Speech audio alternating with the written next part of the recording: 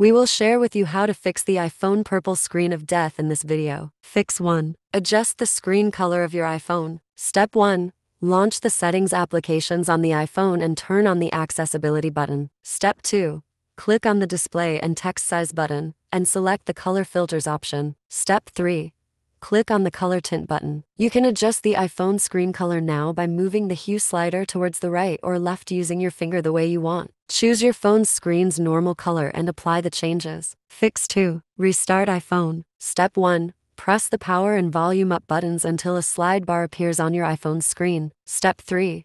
Wait about 30 seconds for your iPhone to turn off and power it again. Press the power button until an Apple logo appears to power it up again. Fix 3. Update the iOS. Step 1. Go to the Settings application and navigate to General, then click on the Software Update option. Step 2. Choose Download and Install to install any available updates. Step 3. Wait for the update to install, and then follow the instructions by tapping Restart when prompted. Fix 4. Use iOS System Recovery. Step 1. Start by installing the software on your computer. Ensure you choose the correct version for your computer when downloading it. Open the program and select the iOS System Recovery option. Step 2. Use a USB cable to connect your iPhone to the computer. After that, click on Trust and tap on the Start button. Step 3. Enter the correct information regarding your iPhone on the screen that appears and select the recovery mode Advanced or Standard. The standard recovery mode does not delete your data. Step 4. Click on the Confirm button to confirm that the information entered is correct. And finally, click on the button named Repair on the lower part of your computer screen to start the repair. Wait for some time, and the iPhone purple screen of death issue will be permanently solved.